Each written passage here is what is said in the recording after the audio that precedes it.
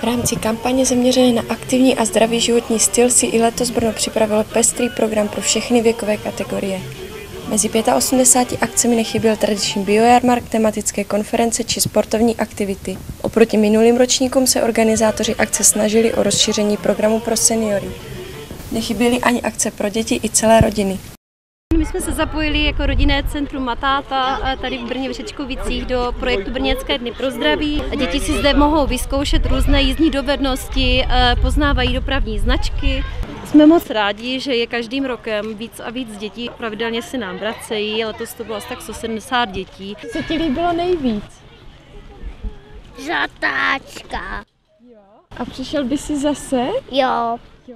18. ročník festivalu pořádá kancelář Brno Zdravé město a do příprav se zapojily nejen brněnské organizace, ale i fakultní nemocnice, rodina či sportovní centra.